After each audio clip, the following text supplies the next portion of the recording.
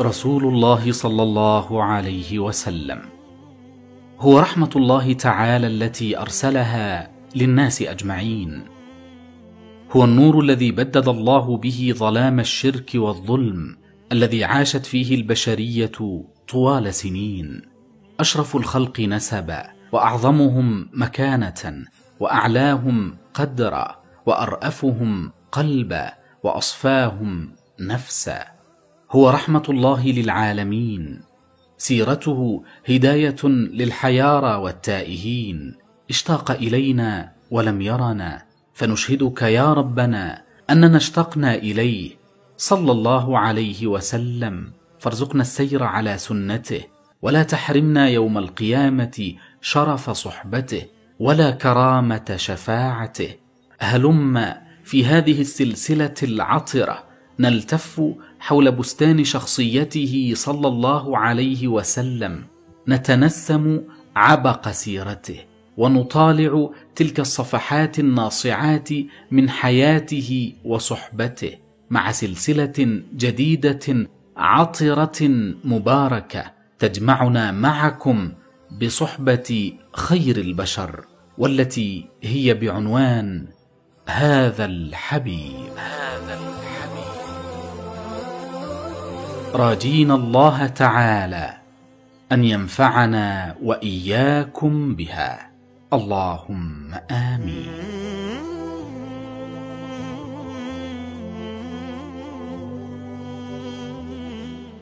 من عام الفيل وفي شهر ربيع الأول الذي أصبح يعرف بربيع الأنور ومن ليلة الاثنين الثاني عشر منه طلع فجر النبوة المحمدية. هذا الذي عليه أكثر المؤرخين للميلاد النبوي السعيد. الحمل قبل الميلاد والمصاهرة قبل الحمل والوالد قبل الولد ولكل زمان ومكان.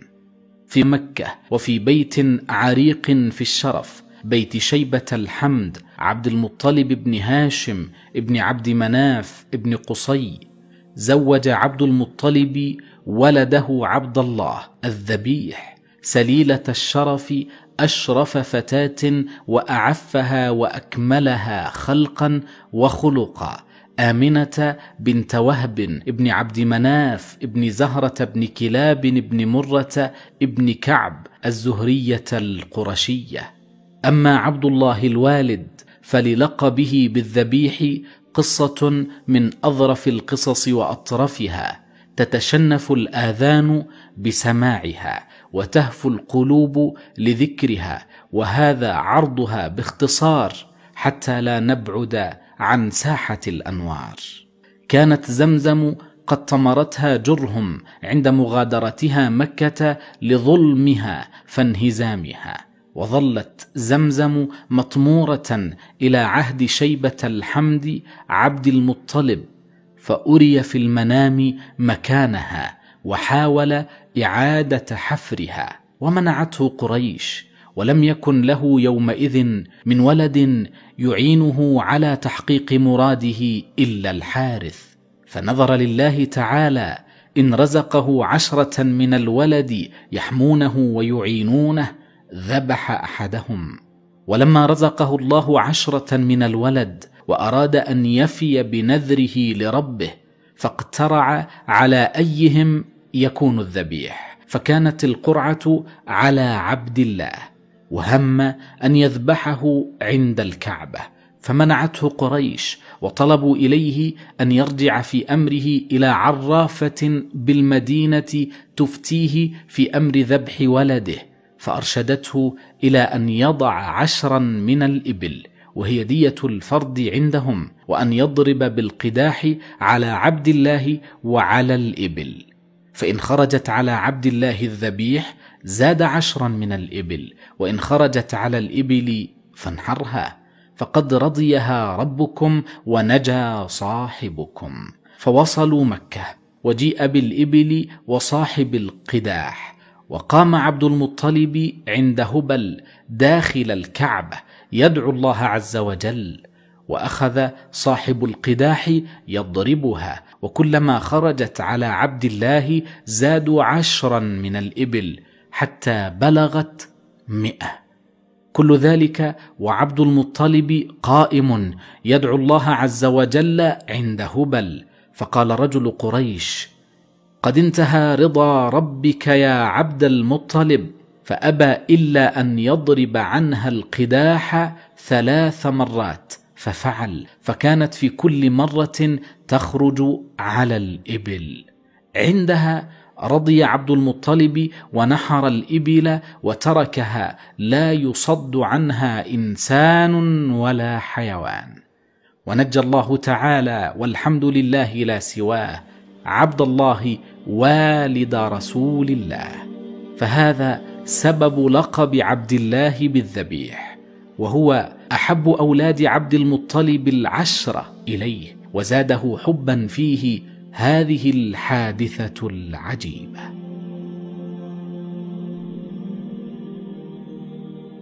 وأكرم الله تعالى عبد المطلب بإعادة حفر زمزم إذ وافقته قريش على حفرها وكانت موافقتها لآية شاهدتها لعبد المطلب وهي أنهم لما منعوه من حفرها وأبى عليهم ذلك قالوا نختصم إلى الكاهنة وهي كاهنة بني سعد وكانت بأعالي الشام فذهبوا إليها.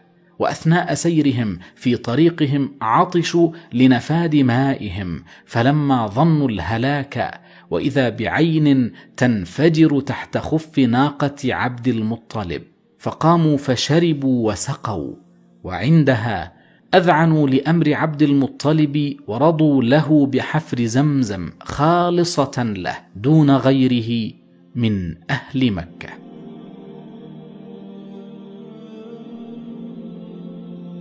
إن من نتائج وعبر هذه المقطوعة من السيرة العطرة ما يلي. فزع عبد المطلب إلى الله تعالى يدعوه دليل على أن مشركي العرب ما كانوا ملاحدة بل كانوا يؤمنون بالله ربا وخالقا ورازقا ومدبرا والقرآن شاهد بهذا.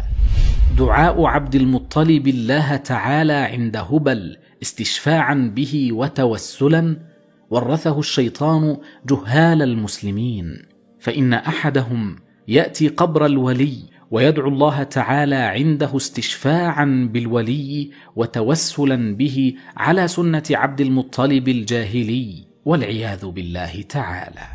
كرامات عبد المطلب التي أكرمه الله بها كرؤيا بئر زمزم وحفرها والماء الذي نبع من تحت خف ناقته وخروج القداح على الإبل لا على ولده.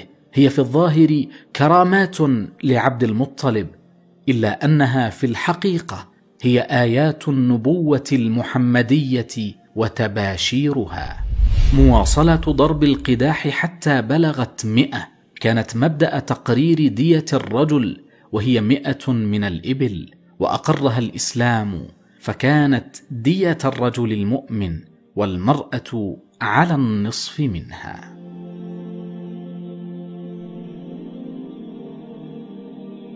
الحمل والميلاد.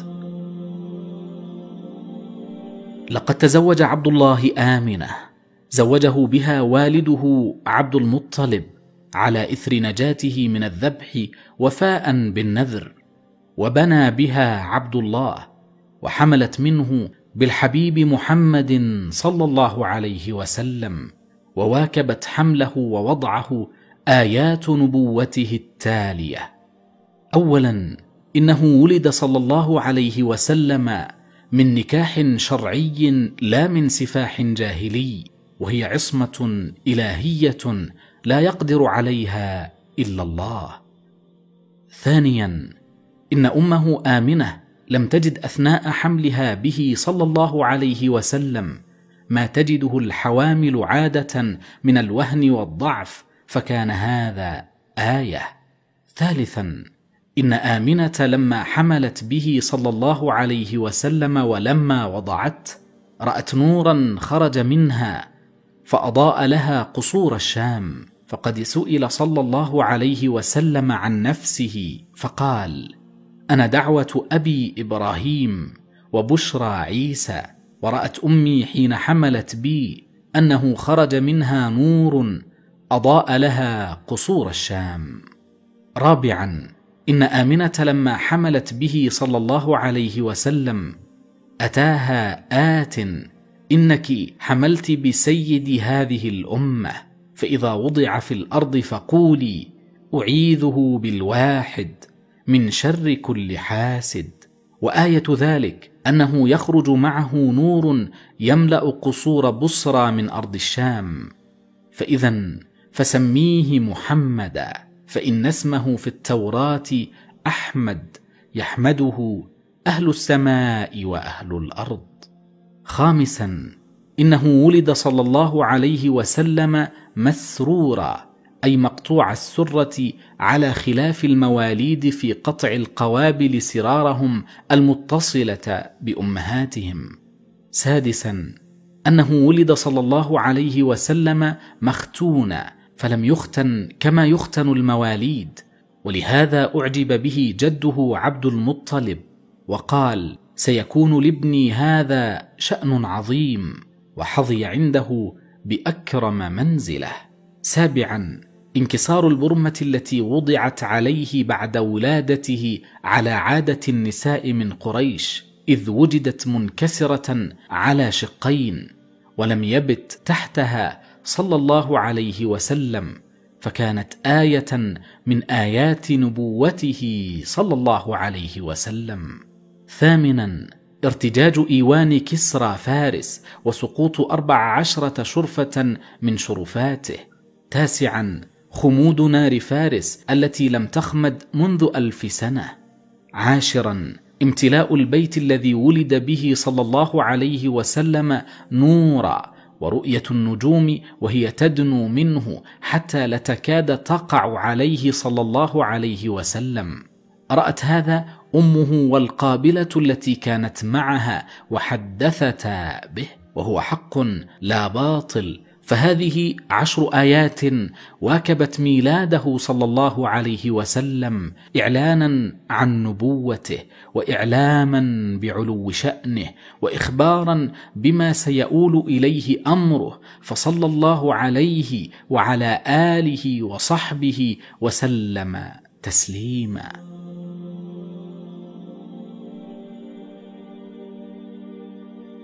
ولد صلى الله عليه وسلم بدار المولد المعروفة بدار محمد بن يوسف أخي الحجاج بن يوسف وهي الآن مكتبة عامة وكان ذلك عام الفيل كما تقدم أي بعد غزو أبرهة الأشرم وهزيمته بقرابة خمسين يوما.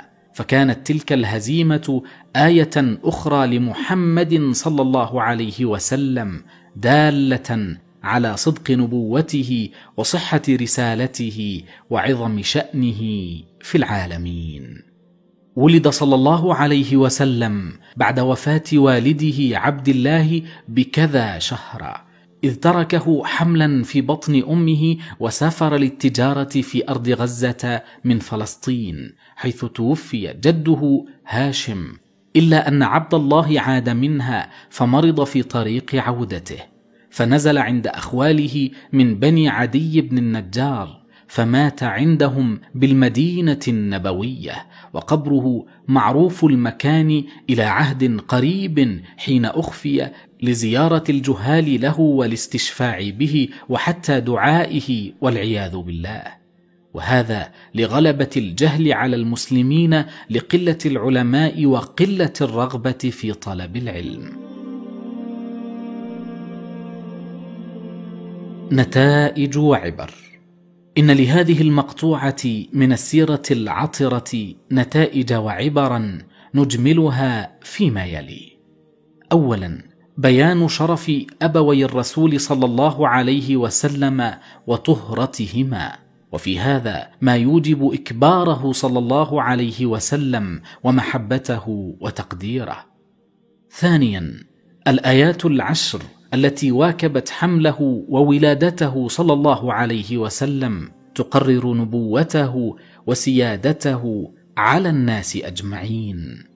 ثالثا في الآية الثالثة إشارة واضحة إلى عموم رسالته وانتشار دينه في الشرق والغرب.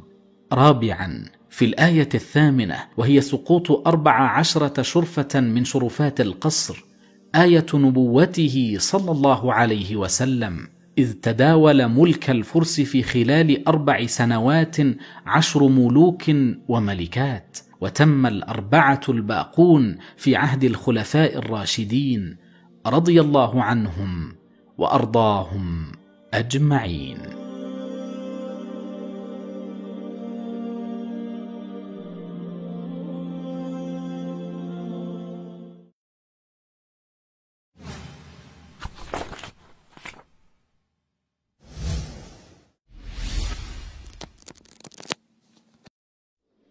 رضاع الحبيب ومراضعه صلى الله عليه وآله وسلم.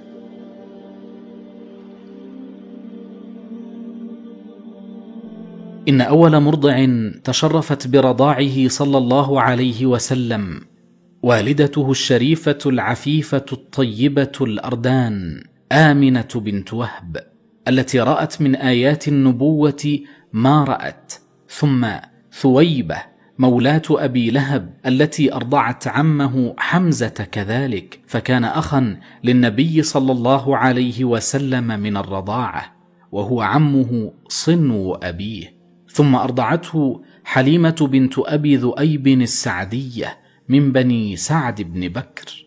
رضع مع ابنتها الشيماء بنت الحارث بن عبد العزى. وقد رأت في إرضاعه صلى الله عليه وسلم آيات فلنتركها رضي الله عنها تحدثنا بنفسها عما شاهدت من آيات نبوته صلى الله عليه وسلم. تقول حليمة خرجت من بلدي مع زوجي وابن صغير لنا نرضعه. في نسوة من بني سعد نلتمس الرضعاء وذلك في سنة شهباء لم تبق لنا شيئا. خرجنا على أتان لنا قمراء ومعنا شارف لنا. والله ما تبض بقطرة وما ننام ليلنا أجمع من بكاء صبينا الذي معنا من الجوع. إذ ما في ثدي ما يغنيه وما في شارفنا ما يغذيه.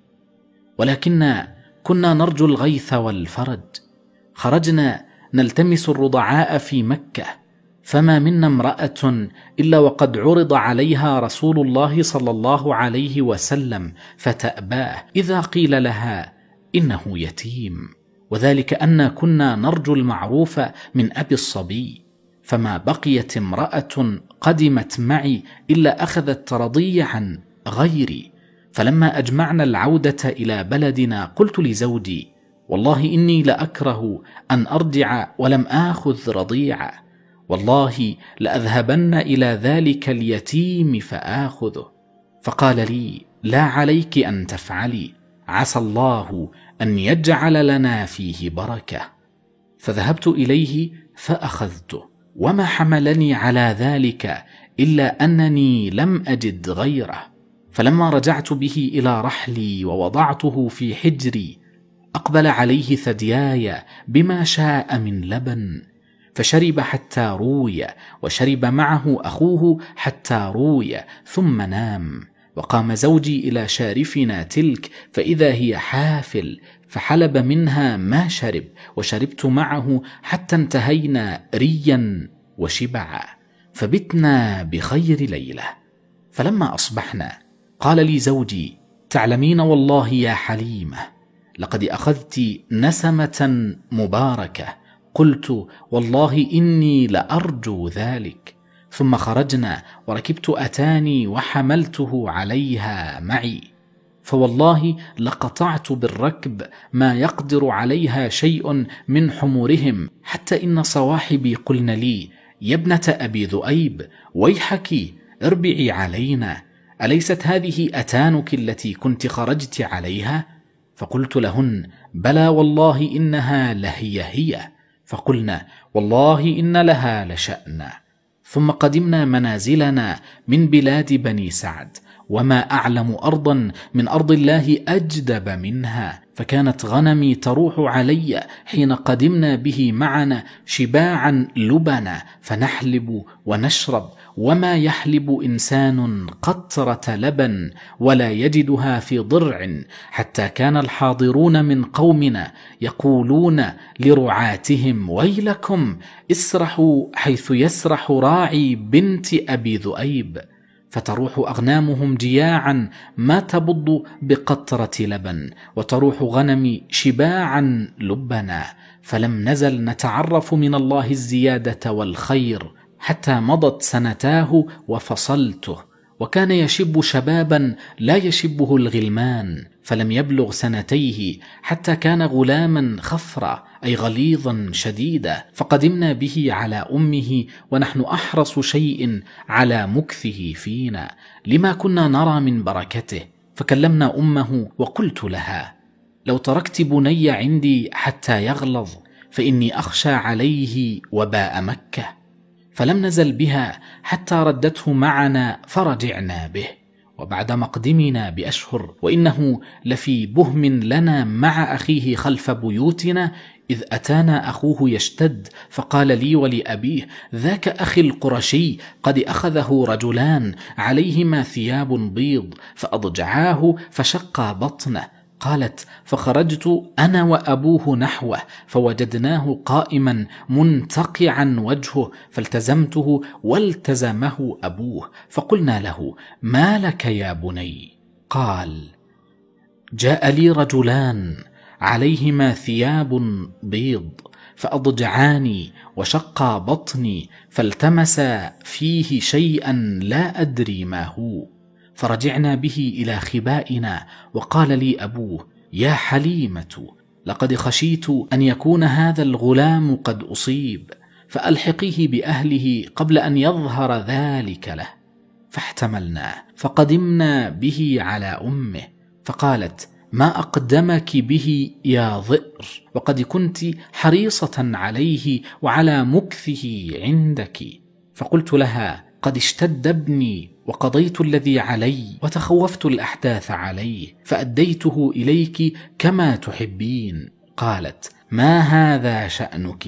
فاصدقيني خبرك. فلم تدعني حتى أخبرتها. قالت أفتخوفت عليه الشيطان؟ قلت نعم. قالت كلا والله ما للشيطان عليه من سبيل وإن لابني لشأن أفلا أخبرك به؟ قلت بلى. قالت رأيت حين حملت به أنه خرج مني نور أضاء لي قصور بصرى من أرض الشام ثم حملت به. فوالله ما رأيت من حمل قط كان أخف علي ولا أيسر منه ووقع حين ولدته وإنه لواضع يديه بالأرض رافع رأسه إلى السماء. دعيه عنك وانطلقي راشدة. هكذا كان استرضاعه صلى الله عليه وسلم في بادية بني سعد. شأنه ككل أبناء سادات قريش يرضعون أولادهم في البوادي ليصحوا اجساما ويفصحوا لسانا ويقووا جنانا ولقد قال مرة صلى الله عليه وسلم معتزا بشرف أصله واسترضاعه في البادية أنا أعربكم أنا قرشي واسترضعت في بني سعد بن بكر.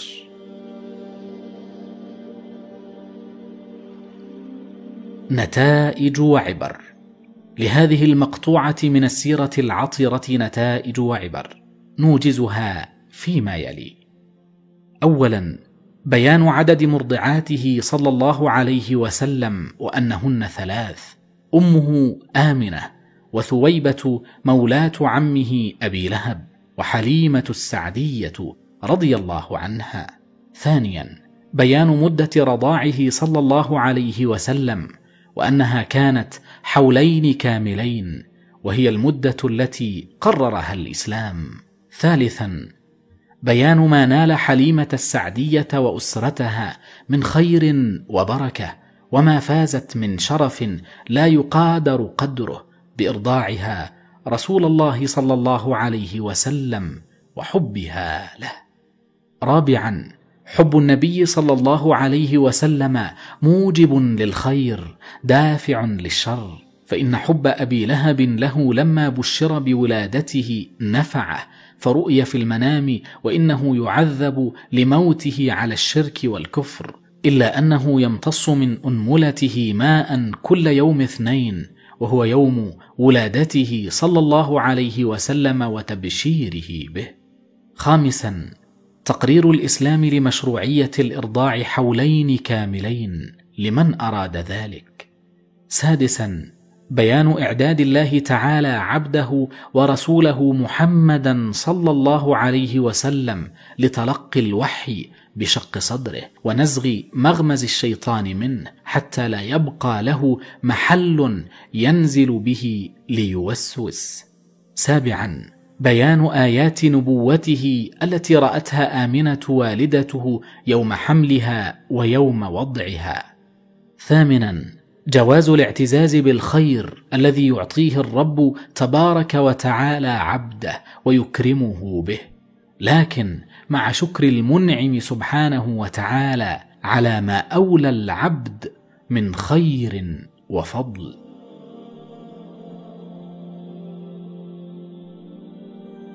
كفلاء الحبيب محمد صلى الله عليه وسلم وحاضنته. لقد عاد بالحبيب صلى الله عليه وسلم مرضعته حليمة السعدية لتكفله أمه آمنة. ويرعاه جده عبد المطلب. والله تعالى كالئ الكل وحافظهم. وبهذا كانت آمنة الوالدة. أول كافل للنبي صلى الله عليه وسلم في صباه. وشاء الله تعالى أن خرجت آمنة بغلامها الزكي النقي الطاهر إلى يثرب لتزيره أخواله من بني عدي بن النجار إذ هم أخوال أبيه. وخال الأب خال الابن لأن أم عبد المطلب والد عبد الله هي سلمى بنت عمرو النجارية. ولما وصلت آمنة الأبواء عائدة من المدينة إلى مكة أدركتها المنية فماتت بها. وحضنت الحبيب محمدا الغلام اليافع مولاة أبيه أم أيمن بركة باركها الله ورضي عنها. إنها أم أسامة حب رسول الله صلى الله عليه وسلم ابن حبه زيد بن حارثه مولاه رضي الله عنه وأرضاه. فوصلت به حاضنته أم أيمن مكة المكرمة. فسلمته إلى جده عبد المطلب فكفله. فكان ثاني الكفلاء لرسول الله صلى الله عليه وسلم.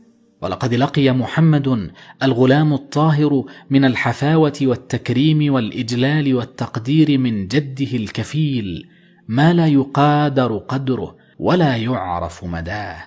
ومات الجد الرحيم والكافل الكريم. وسن النبي صلى الله عليه وسلم وقتها ثماني سنوات ليكفله بوصية خصوصية من عبد المطلب عمه أبو طالب وهو شقيق أبيه.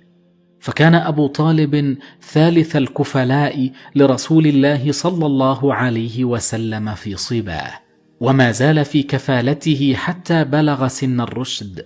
ثم لازمه أبو طالب العم الكفيل فلم يتركه ولم يسلمه لقريب ولا لبعيد. حتى قبضه الله في السنة الحادية عشرة من البعثة النبوية العظيمة. ومات أبو طالب مع الأسف على غير ملة الإسلام لما سبق في قضاء الله تعالى أنه يموت غير مسلم ولا راد لما قضى الله. نتائج وعبر. إن لهذه المقطوعة من السيرة العطرة نتائج وعبرا هي كالتالي. اولا بيان يتم النبي صلى الله عليه وسلم إذ مات والده وهو حمل لم يولد بعد وماتت والدته وهو في السادسة من عمره.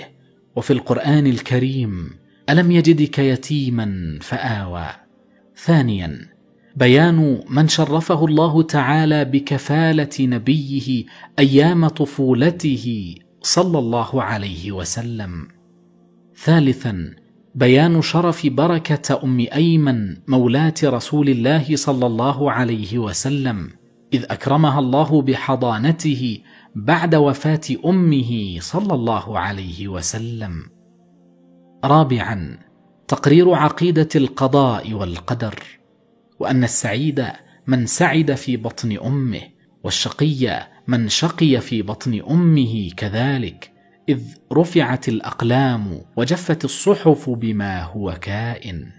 خامسا بيان أن فعل الخير لا يعدم فاعله جوازيه فإن أبا طالب أخبر النبي صلى الله عليه وسلم أنه في النار لموته على غير الإسلام وأخبر أنه يخفف عنه العذاب لما قدم لرسول الله صلى الله عليه وسلم من عون وحماية طيلة حياته معه في مكة.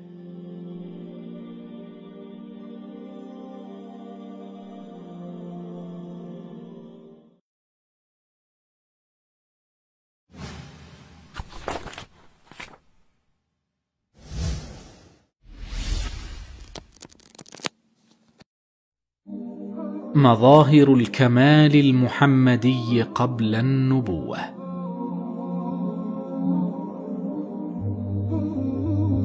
إن الفترة التي قضاها الحبيب صلى الله عليه وسلم من أيام طفولته إلى يوم مبعثه كانت حقا زاخرة بمظاهر الكمالات المحمدية وكلها دلائل لنبوته وآيات لكمالاته. وها نحن أولاء نستعرض مع المستمع الكريم طرفا منها طلبا لكمال محبته واليقين في الإيمان به صلى الله عليه وسلم. وإن أول تلك المظاهر الكمالية الاستسقاء به صلى الله عليه وسلم وهو طفل لم يبلغ بعد. فقد روى ابن عساكر عن جلصمة بن عرفطة قال: قدمت مكة وهم في قحط، فقالت قريش: يا أبا طالب أقحط الوادي وأجدب العيال، فهلم فاستسق. فخرج أبو طالب ومعه غلام كأنه شمس، فأخذه أبو طالب فألصق ظهره بالكعبة، وما في السماء قزعة، فأقبل السحاب منها هنا وها هنا وأغدق واغدودق وانفجر الوادي وأخصب النادي والبادي.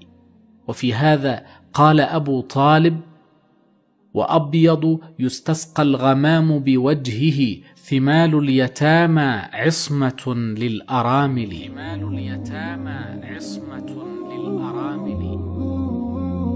فهذه هي الكرامات الإلهية للحبيب صلى الله عليه وسلم. وهو مظهر من مظاهر الكمال إذ ألهم الله تعالى أبا طالب أن يستسقي به صلى الله عليه وسلم وهو طفل فيأخذه ويأتي به إلى الكعبة ويلصق ظهره بها ويرفع الغلام بين يديه ولسان حاله يقول اسقنا ربنا فقد توسلنا إليك بهذا الغلام المبارك. فيسقيهم الله تعالى حتى يجري واديهم وتخصب أراضيهم. فكانت هذه من طلائع النبوة وتباشيرها.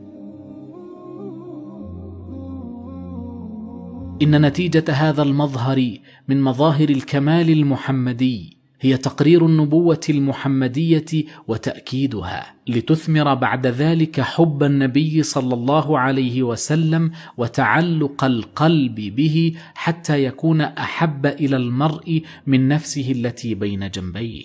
ويصبح المحب مستعدا نفسا لترك ما يحب لمحبوبه صلى الله عليه وسلم. وبذلك تتم الطاعة لرسول الله صلى الله عليه وسلم ومتابعته فيما جاء عقيدة وعبادة وخلقا وأدبا. وهذه سبيل النجاة من المرهوب والظفر بالمحبوب في الدارين وتلك غاية الطالبين الصالحين. وثاني تلك المظاهر للكمال المحمدي أنه صلى الله عليه وسلم لم تكشف له عورة قط بعد أن حدث له مرة وهو ينقل الحجارة مع رجالات قريش لبناء الكعبة المشرفة وكانوا يرفعون ازرهم على عواتقهم يتقون بها ضرر الحجارة. وكان هو صلى الله عليه وسلم يضع الحجارة على عاتقه وليس عليه شيء. فرآه عمه العباس رضي الله عنه فقال له لو رفعت من إزارك على عاتقك حتى لا تضرك الحجارة. ففعل صلى الله عليه وسلم فبدت عورته فوقع على وجهه فوق الأرض مباشرة ونودي أستر عورتك اي ناداه ملك؟ فما رؤيت له بعد ذلك عورة أبدا. ومن نتائج هذا المظهر اولا عناية الله تعالى لنبيه صلى الله عليه وسلم وحفظه له من كل ما يسيء إلى مقامه الرفيع ومكانته السامية. ثانيا كشف العورات مما جاء الإسلام بتحريمه ومنعه إلا من ضرورة تطبيب ونحوه. ثالثا بيان مشاركة النبي صلى الله عليه وسلم قومه فيما هو خير ومعروف. وهو مظهر من مظاهر كماله صلى الله عليه وسلم ذاتا وروحا وخلقا. وثالث مظاهر الكمال أنه صلى الله عليه وسلم قد بغض الله تعالى إليه الأوثان وكل أنواع الباطل التي كان يأتيها فتيان قريش ورجالاتها من الغناء وشرب الخمر والقمار وسائر الملاهي. وقد أخبر صلى الله عليه وسلم عن ذلك عن نفسه فقال لما نشأت بغضت إلي الأوثان وبغض إلي الشعر ولم أهم بشيء مما كانت الجاهلية تفعله إلا مرتين. كل ذلك يحول الله تعالى بيني وبين ما أريد من ذلك. ثم ما هممت بسوء بعدهما حتى أكرمني الله برسالته. قلت ليلة لغلام كان يرعى معي. لو أبصرت لي غنمي حتى أدخل مكة فأسمر كما يسمر الشباب. فخرجت حتى جئت أول دار من مكة أسمع عزفا بالدفوف والمزامير لعرس كان لبعضهم. فجلست لذلك فضرب الله على أذني فنمت فما إيقظني إلا حر الشمس. ولم أقض شيئا. ثم عراني مثل ذلك مرة أخرى. ومن نتائج هذا المظهر اولا حماية الله لرسوله من كل ما يسيء إلى سامي مقامه وعظيم منزلته فداه أبي وأمي. ثانيا بيان رعيه صلى الله عليه وسلم الغنم في البادية وهي سنة الأنبياء من قبله. فقد قال صلى الله عليه وسلم ما من نبي إلا وقد رعى الغنم. فقالوا ولا أنت يا رسول الله. فقال ولا أنا فقد كنت أرعاها على قراريط لأهل مكة. ثالثا إن الحكمة من رعي الأنبياء للغنم هي الإعداد لسياسة البشر بالرفق والرحمة واللين لأن الغنم وهي الضأن والمعز أضعف من البقر والإبل وأحوج إلى الرفق والإنسان أضعف منها. ولذا يحتاج إلى سياسة الرفق واللين وعدم الشدة والعنف. ورابع المظاهر للكمال هو تحكيم قريش له في أعظم خلاف لها كاد يفضي بها إلى الحرب والقتال. وذلك أن السيل كان قد طغى على الكعبة فغمرها بالمياه وزلزل بناءها وكاد يهد أركانها. وتشاورت قريش طويلا في إعادة بناء الكعبة بعد الذي أصابها وكانت تتهيب أن تمس الكعبة بشيء كهدمها وتجديد بنائها مخافة أن تنالها عقوبة من الله رب الكعبة وحاميها من كل كيد يراد لها وبعد أخذ ورد أقدمت على هدمها وتجديد بنائها بعدما أعدت لذلك عدته ومنه المال الحلال. وفعلا وزعت أركانها على قبائلها وشرعت في الهد والبناء. ولما ارتفع جدار الكعبة وبلغ موضع الحجر الأسود اختلفوا في من يتشرف بوضع الحجر مكانه من الركن اليماني الشرقي. وتنافسوا في ذلك وشحوا به على بعضهم حتى كادوا يقتتلون. وأخيرا ألهمهم الله تعالى إلى تحكيم أول من يقبل من باب الصفا. وما زالوا كذلك حتى أقبل محمد صلى الله عليه وسلم. فما إن رأوه مقبلا حتى قالوا هذا الأمين رضينا به حكما. وفعلا رضي صلى الله عليه وسلم بتحكيمهم له. فأمرهم أن يبسطوا ثوبا فوضعه فيه. ثم أمر ممثلي قبائل قريش أن يأخذ ممثل كل قبيلة بطرف ورفعوه. ولما حاذوا به مكانه من الجدار رفعه صلى الله عليه وسلم بيديه الكريمتين فوضعه مكانه. وبذلك حقنت دماء قريش وعادت الألفة والمودة بين رجالاتها. فكان هذا الحكم والتحكيم أكبر مظهر من مظاهر الكمال المحمدي قبل إنبائه وإرساله نبيا ورسولا. ومن نتائج مظاهر الكمال المحمدي في هذا المظهر اولا تقرير الكمال المحمدي الذي دل عليه وصف قريش له بأنه الأمين. إذ لم يعرف بخيانة في عرض ولا مال ولا قول ولا عمل قط. ثانيا حسن السياسة التي بها حقنت دماء قريش التي كادت تسيل من شدة الخلاف واحتدامه. ثالثا إظهار شرف محمد صلى الله عليه وسلم على كافة رجالات قريش بتحكيمهم إياه ورضاهم بحكمه. وبهذا وغيره قامت الحجة على أكثرهم في إنكارهم نبوته واعتراضهم على رسالته واتهامهم إياه بالنقائص وهو أكملهم على الإطلاق.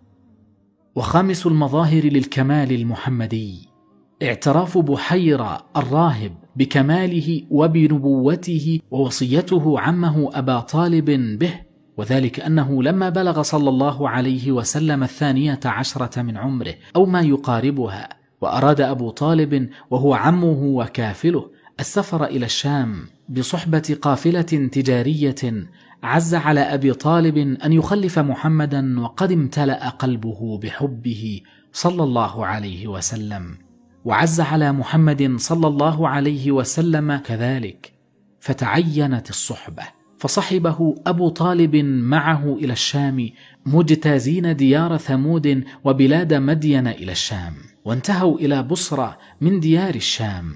فنزلوا منزلا قريبا من صومعة راهب هو بحيرة. وكان بحيرة ذا علم بالمسيحية والكتب الأولى. وكان راسا في هذه المنطقة لعلمه وفضله. وشاء الله تعالى أن يطل من أعلى صومعته فيرى قافلة قريش وهي مقدمة نحوه وأن بينها غلاما تظلله غمامة من الشمس.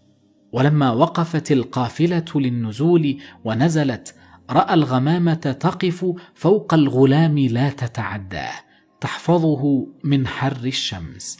فعلم أن لهذا الغلام شأنه. كيف يصل إليه ويجري الحديث معه ليعرف شأنه؟ ما كان من الراهب إلا أن دعا القافلة إلى طعام عشاء عنده بعنوان ضيافة وقبلت القافلة ذلك بعد تردد واستفسار عن مثل هذه الضيافة التي لم تحصل لقوافلهم المتعددة قط. وطمأنهم بحيرة بأن غرضه الإكرام والتعرف على أحوالهم.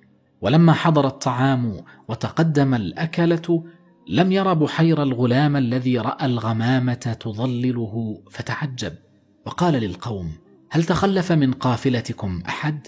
فقالوا لا. فقال بلى. أين الغلام الذي كان معكم؟ فجاءوا به وقد تخلف لصغره وحيائه أن يطعم مع رجالات قريش. فبقي في رحل عمه فلما جاء وجلس أخذ بحيرة يلحظه ويتأمله. ولما انصرف القوم قام بحيرة إلى محمد صلى الله عليه وسلم وقال له يا غلام أسألك بحق اللات والعزى جريا على حلف العرب بهما إلا أخبرتني عما أسألك عنه.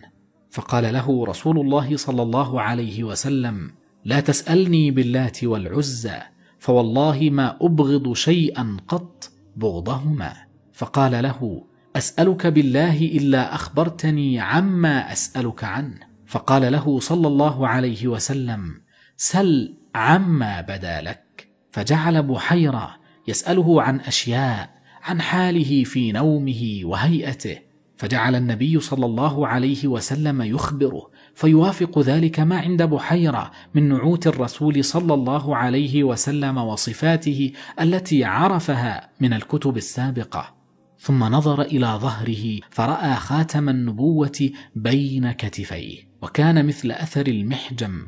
ثم التفت الراهب بحيرة إلى أبي طالب فسأله عن الغلام فأخبره فعلم أنه النبي المنتظر وأمره أن يعود به إلى دياره مخافة أن يغتاله يهود إذا رأوه وعلموا به.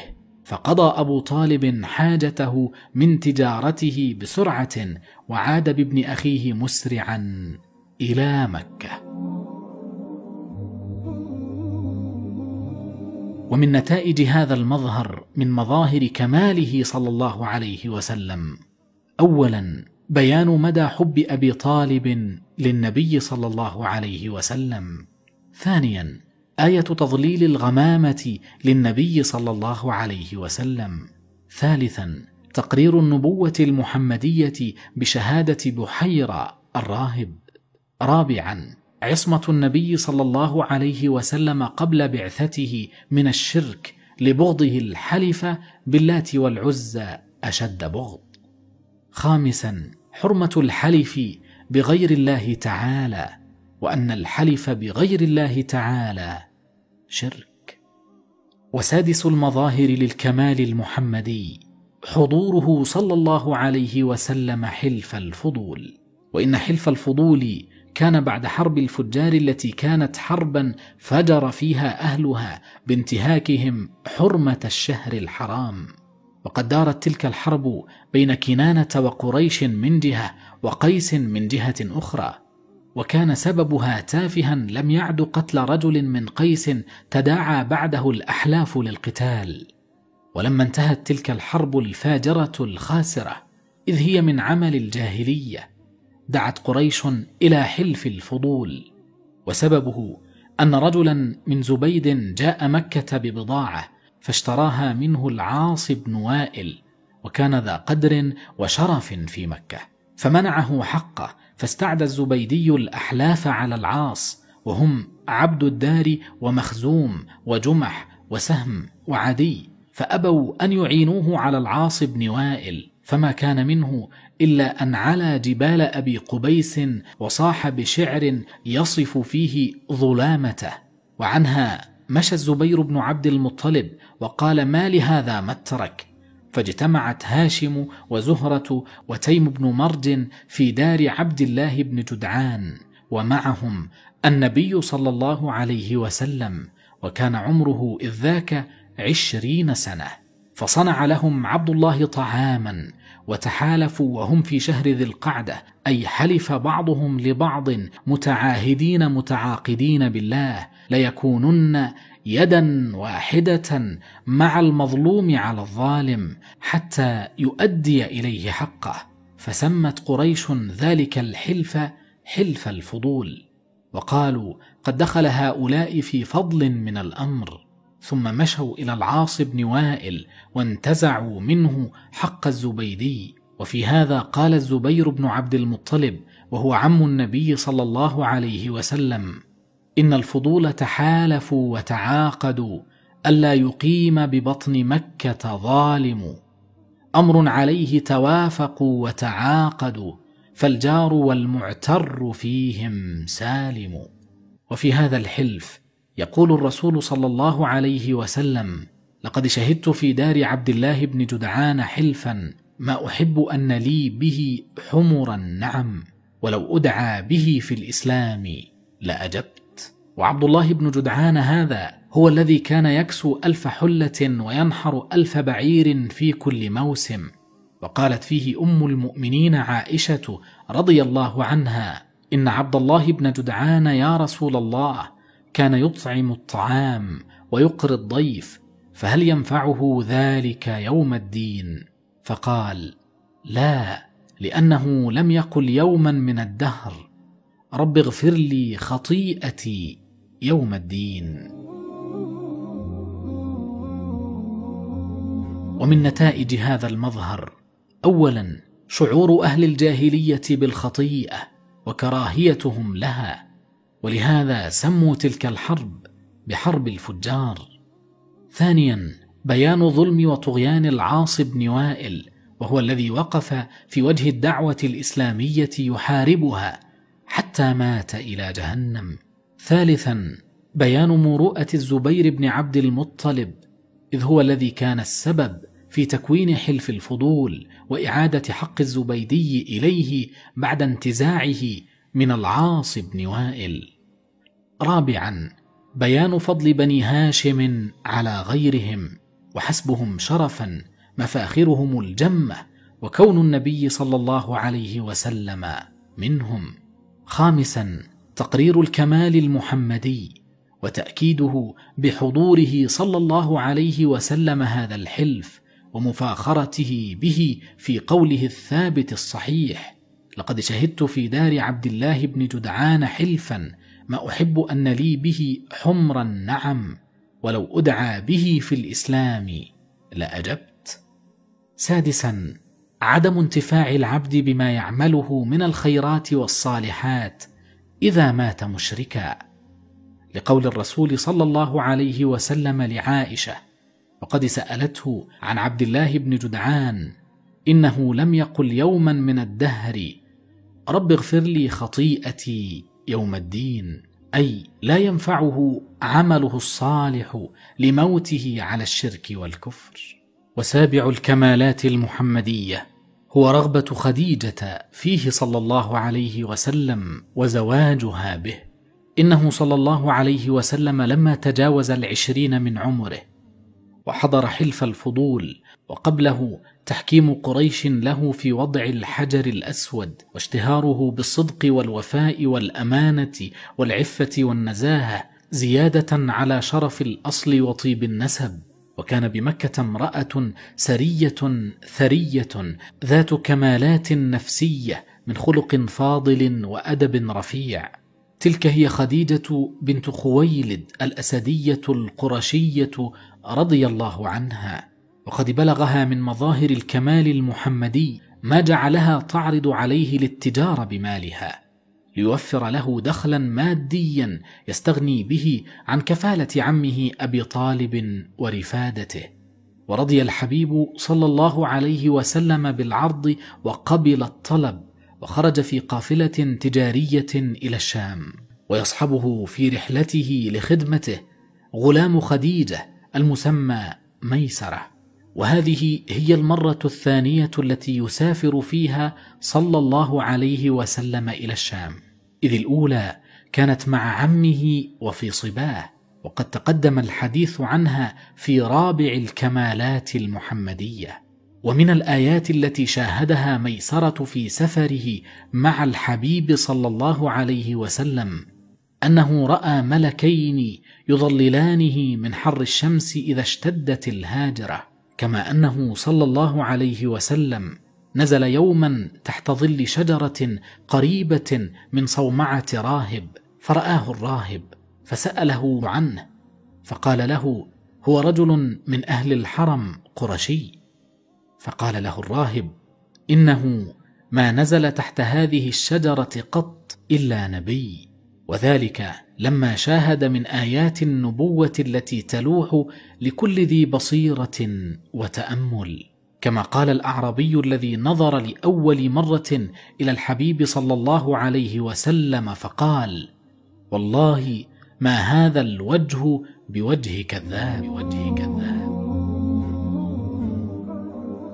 عاد الحبيب صلى الله عليه وسلم بتجارة رابحة وسرت خديجة وزادها سرورا ما أنبأها به غلامها ميسرة من خبر الراهب وأمر الملكين اللذين يظللانه من حر الشمس.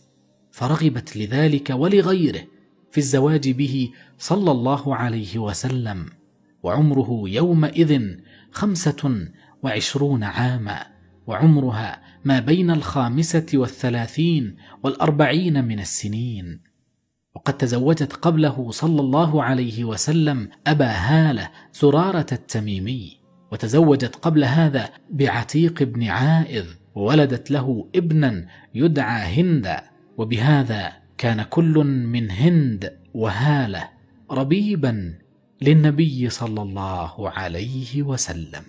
وكانت خطبة الزواج الميمون كالتالي بعثت خديجة إليه صلى الله عليه وسلم تقول يا ابن عم إني قد رغبت فيك لقرابتك وشرفك وسيادتك في قومك وحسن خلقك وصدق حديثك ثم عرضت عليه نفسها ليتزوجها وكانت رضي الله عنها يومئذ من أوسط نساء قريش نسبا وأعظمهن شرفا وأكثرهن مالا وكل واحد من قومها كان حريصا على الزواج بها لو يقدر على ذلك. فذكر صلى الله عليه وسلم ذلك لأعمامه فخرج معه عمه حمزة بن عبد المطلب وأبو طالب حتى دخل على والدها خويلد بن أسد فخطباها إليه فزوجها وأصدقها رسول الله صلى الله عليه وسلم عشرين بكرة وكانت أول امرأة تزوجها رسول الله صلى الله عليه وسلم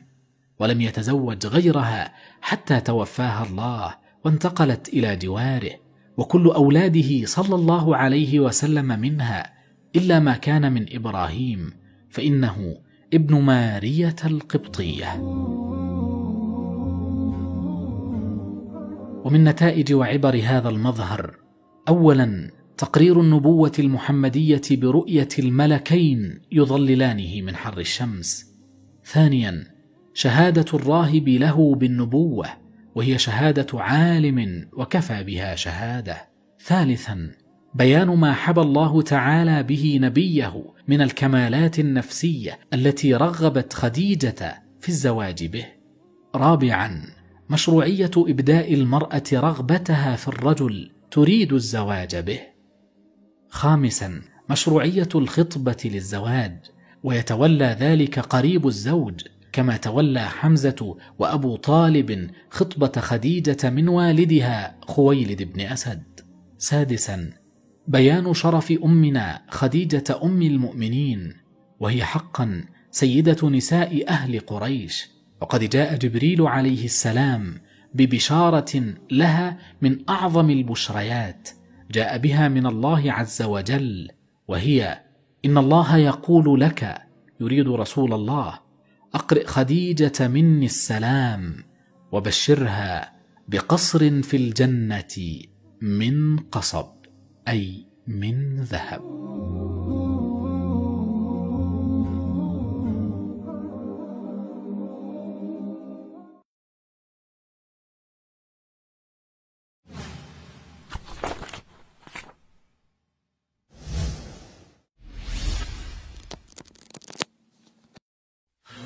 دنو ساعة طلوع الشمس المحمدية. لقد بلغ الحبيب الآن الأربعين من عمره صلى الله عليه وسلم. وأخذت ساعة طلوع الشمس المحمدية تقترب. وها هو ذا صلى الله عليه وسلم إن غدا لحاجة أو راح لا يمر بشجر ولا حجر إلا قال له السلام عليك يا رسول الله. فيلتفت حوله يمينا وشمالا فلا يرى أحدا سوى الشجر والحجر يسلم عليه. فكانت هذه مقدمة الإنباء العظيم. وفي ليلة الاثنين من شهر ربيع الأول طلعت الشمس المحمدية حيث صار لا يرى رؤيا في ليله ولا نهاره صلى الله عليه وسلم إلا جاءت كفلق الصبح. وهذا الزهري يروي عن عروة عن خالته عائشة أم المؤمنين رضي الله عنها وأرضاها قولها إن أول ما بدأ به رسول الله صلى الله عليه وسلم من النبوة حين أراد الله كرامته ورحمة العباد به الرؤيا الصادقة. لا يرى رسول الله صلى الله عليه وسلم رؤيا في نومه إلا جاءت كفلق الصبح. قالت وحبب إليه الخلوة فلم يكن شيء أحب إليه من أن يخلو وحده. واختار صلى الله عليه وسلم لخلوته المحببة إليه جبل حراء وهو أحد جبال مكة المطلة عليها. فكان يخلو به مجاورا فيه يتحنث أي يزيل الحنث عنه وهو ما يراه من الشرك والباطل بين أفراد قومه من قريش. وفي ليلة من ليالي رمضان المبارك ولعلها السابعة عشرة منه نزل عليه جبريل عليه السلام يحمل بشرى النبوة تمهيدا لحمل الرسالة إلى الناس كافة. وها هو ذا إمام المحدثين البخاري رحمه الله تعالى ورضي عنه. يروي لنا عن أمنا عائشة رضي الله عنها قصة بدء الوحي. إذ تقول أول ما بدأ به رسول الله صلى الله عليه وسلم الرؤيا الصالحة في النوم فكان لا يرى رؤيا إلا جاءت مثل فلق الصبح ثم حبب إليه الخلاء فكان يخلو بغار حراء. فيتحنث فيه وهو التعبد. الليالي ذوات العدد قبل أن ينزع إلى أهله ويتزود لذلك. ثم يرجع إلى خديجة فيتزود لمثلها حتى جاءه الحق وهو في غار حراء. جاءه الملك فقال اقرأ. قال ما أنا بقارئ. قال فأخذني فغطني أي ضمني إليه وعصرني كما تضم الأم ولدها إلى صدرها رحمة به وشفقة عليه حتى بلغ مني الجهد. ثم أرسلني فقال اقرأ. فقلت ما أنا بقارئ. فأخذني فغطني الثانية حتى بلغ مني الجهد. ثم أرسلني فقال اقرأ. فقلت ما أنا بقارئ. فأخذني فغطني الثالثة ثم أرسلني فقال اقرأ باسم ربك الذي خلق. خلق الإنسان من علق. اقرأ وربك الأكرم الذي علم بالقلم علم الإنسان ما لم يعلم. فرجع بها رسول الله صلى الله عليه وسلم يرجف فؤاده. فدخل على خديجة بنت خويلد فقال زملوني زملوني فزملوه حتى ذهب عنه الروع. فقال لخديجة وأخبرها الخبر لقد خشيت على نفسي فقالت كلا والله ما يخزيك الله أبدا إنك لتصل الرحم وتحمل الكل وتكسب المعدوم وتقري الضيف وتعين على نوائب الحق.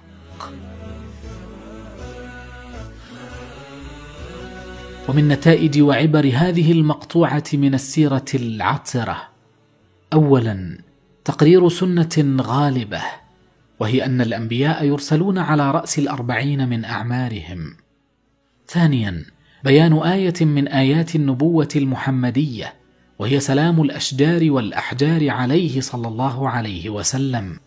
ثالثا تقرير أن الرؤيا الصالحة جزء من ستة وأربعين جزءا من النبوة إذ فترة الوحي كانت ثلاثا وعشرين سنة منها ستة أشهر كانت مناما.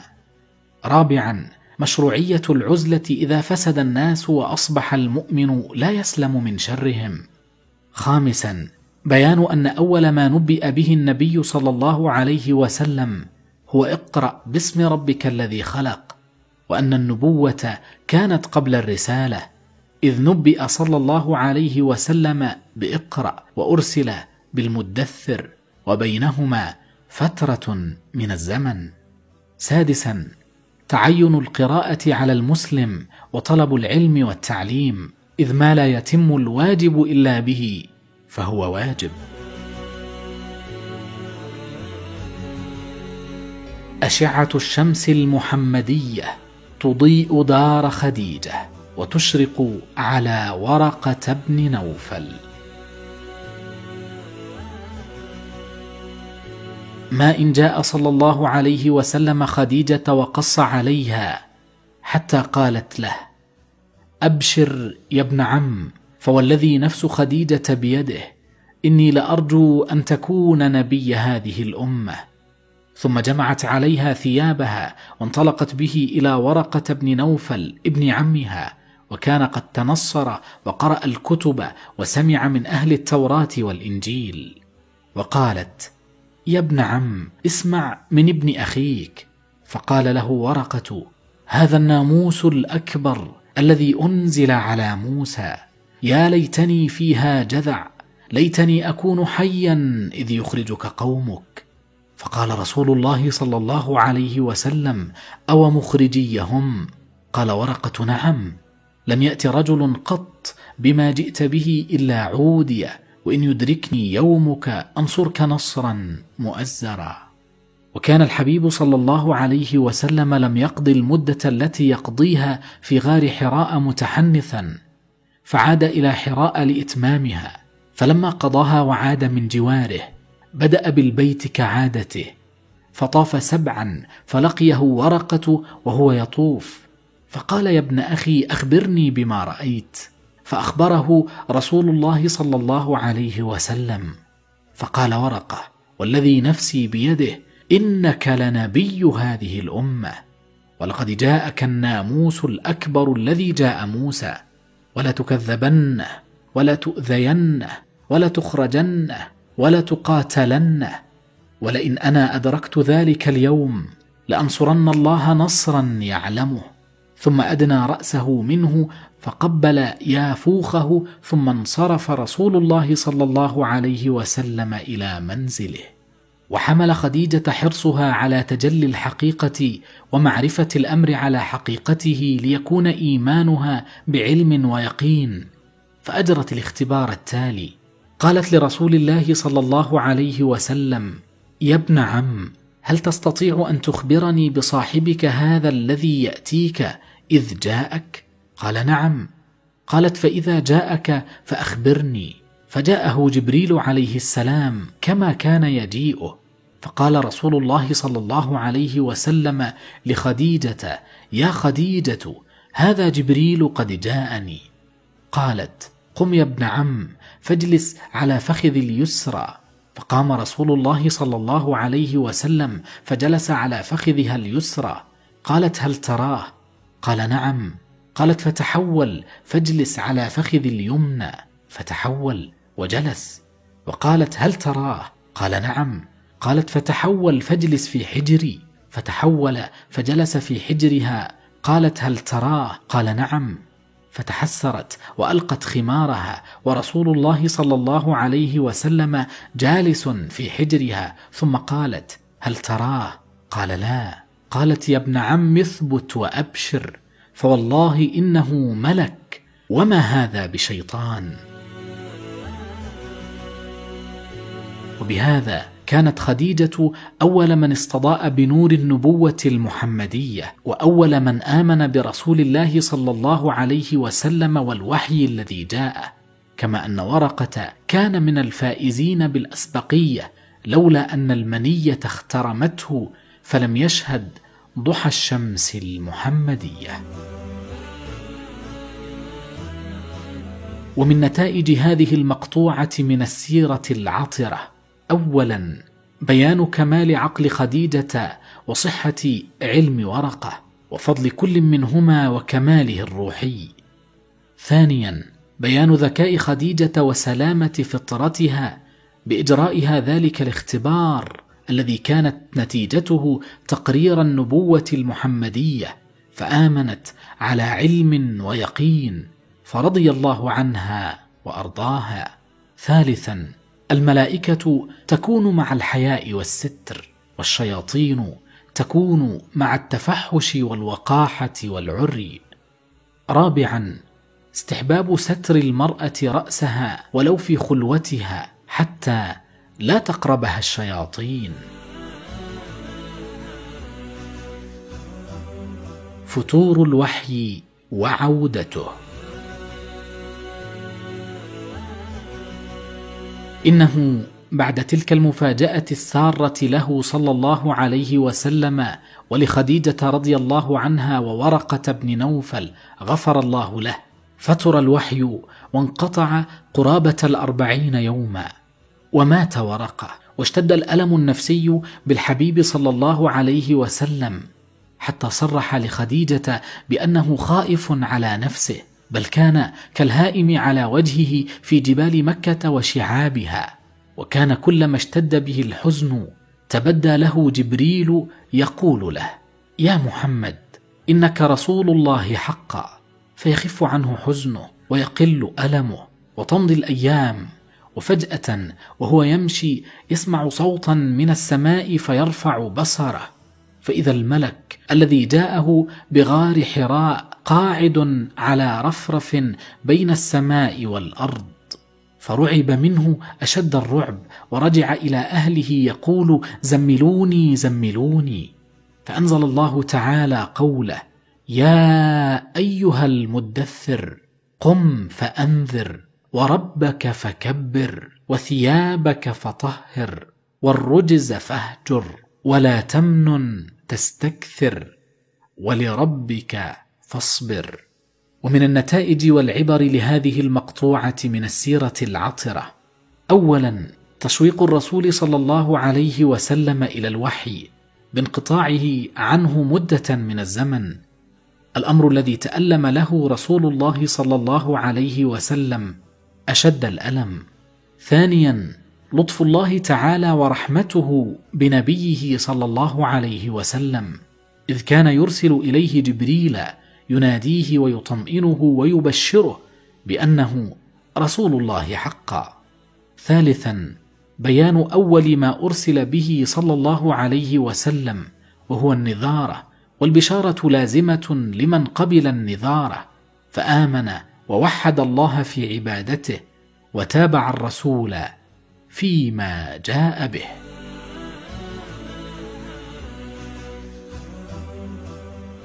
صور الوحي المحمدي.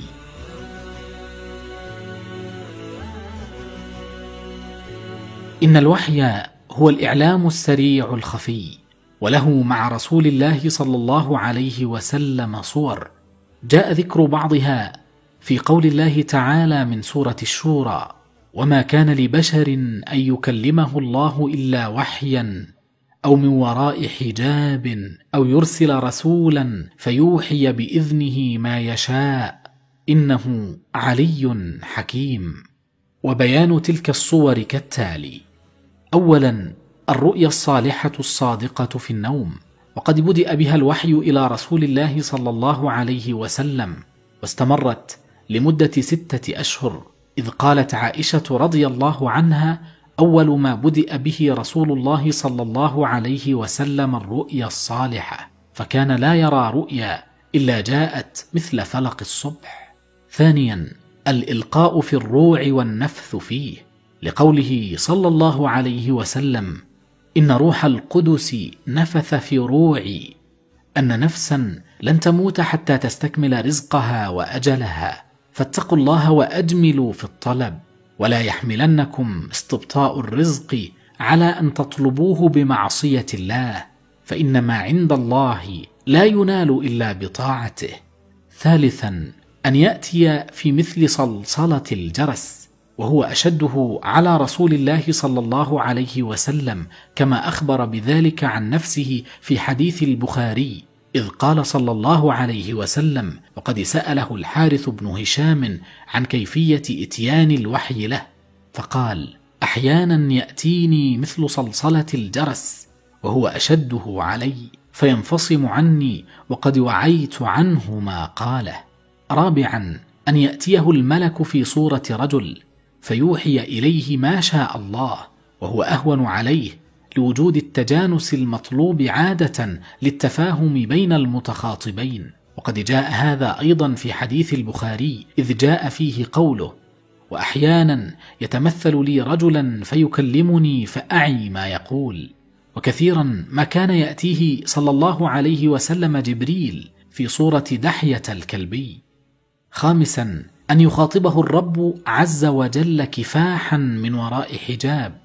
كما تم ذلك له صلى الله عليه وسلم ليلة الإسراء والمعراج حيث فرض عليه وعلى أمته الصلوات الخمس وتردد عليه في ذلك عدة مرات يسأله التخفيف وكان ذلك بإرشاد موسى عليه السلام. وكما تم لموسى بجبل الطور عدة مرات فكان يسمع كلامه ولا يرى وجهه. ومن نتائج وعبر هذه المقطوعة من السيرة العطرة. اولا تقرير الوحي المحمدي وإتيانه. ثانيا بيان صور الوحي التي كان ينزل عليها. ثالثا تقرير أن الرؤيا الصالحة من الوحي. رابعا ذم الحرص من عبد يؤمن بالقضاء والقدر. خامسا بيان حقيقة أن ما عند الله ينبغي أن يطلب بطاعته تعالى لا بمعصيته. سادسا تقرير سنة وهي أن التجانس ضروري لحصول التفاهم بين المتخاطبين. سابعا بيان شرف دحية الكلبي الأنصاري إذ كان جبريل يأتي في صورته.